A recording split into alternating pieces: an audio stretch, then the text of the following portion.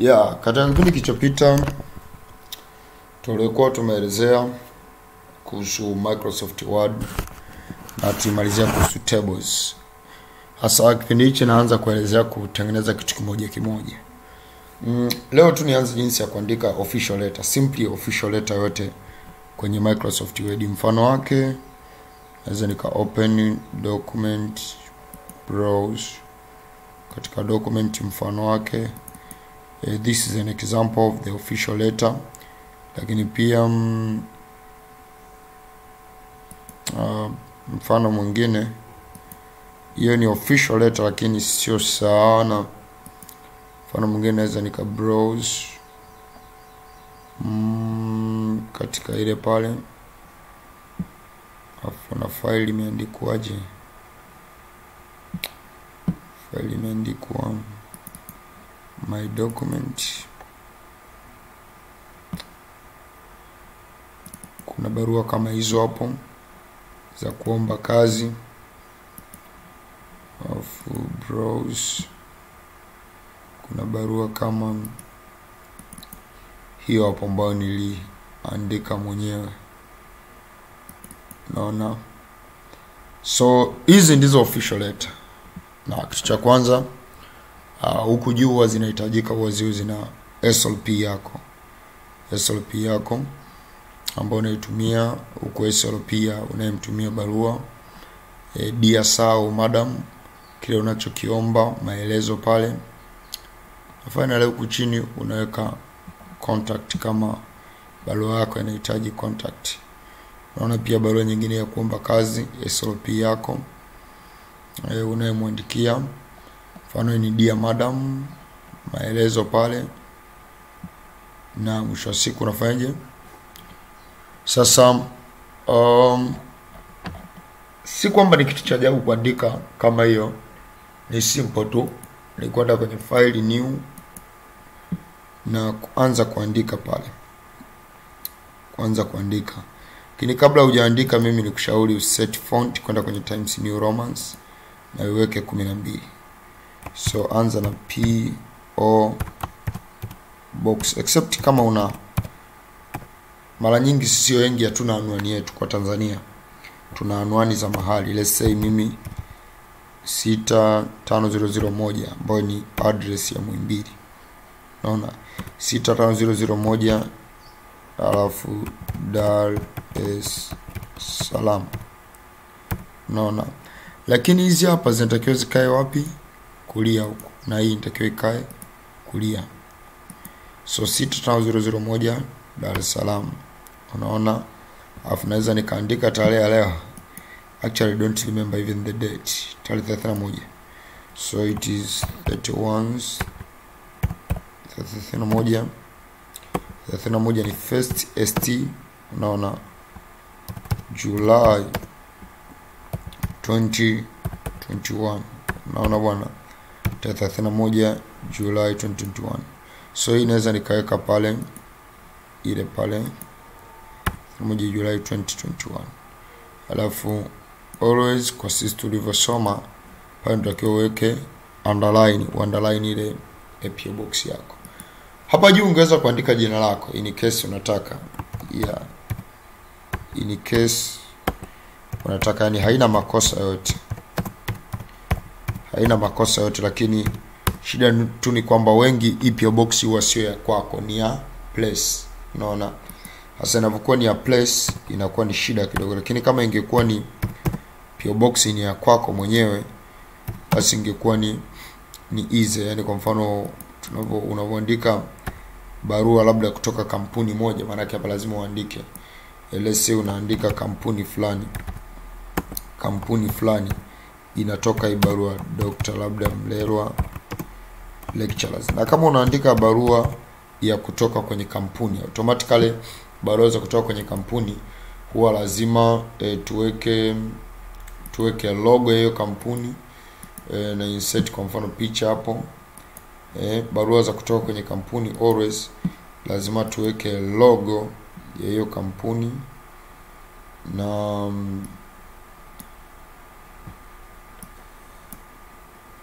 yeah.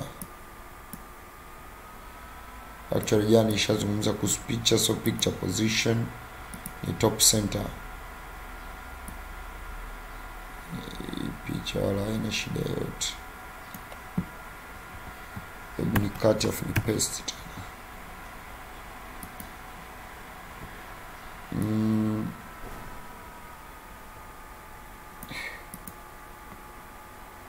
sababu inataka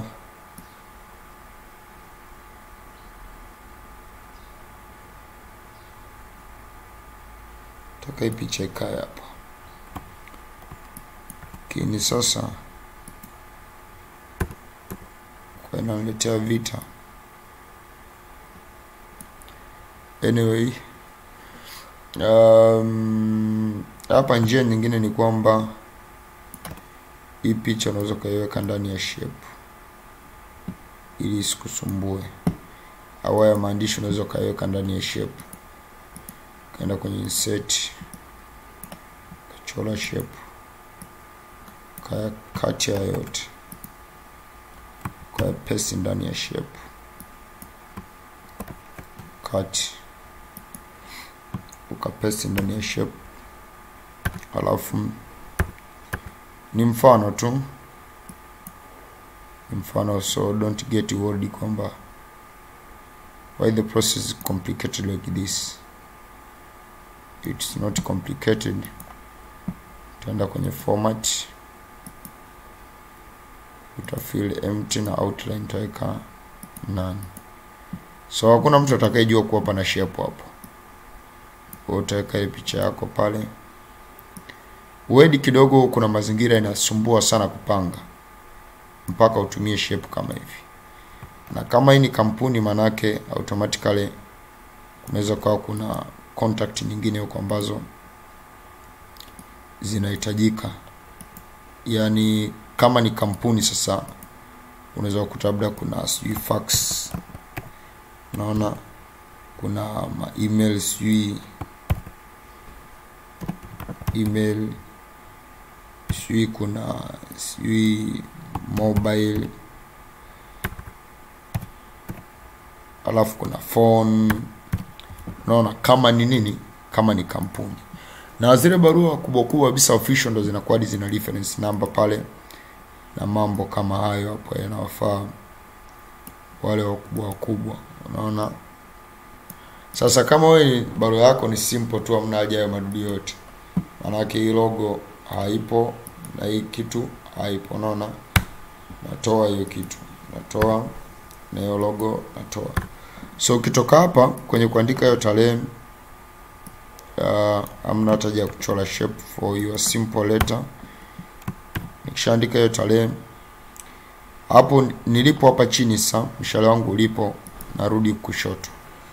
Naandika eh, labda nakopeleka, let's say ni head headmistress. Headmistress wapi? Kibugumo kibugumo secondary school. Alafu p p o boxi labda mia nne hamsini na sita. Wapi hiyo Dar es Salaam. Unaona bwana, tukishafanya hivyo tuna underline ile pale, na tukitoka hapo tukifika pale chini tunatoa ule mstari, alafu tunaandika kwa sababu ni headmistress, maana yake ni dear madam, dear madam. Tunashuka pale chini, alafu tunakuja pale katikati. Re. Hapa sifundishi Kiingereza, tunafundisha kuandika barua. Re. Application for teaching basic chemistry.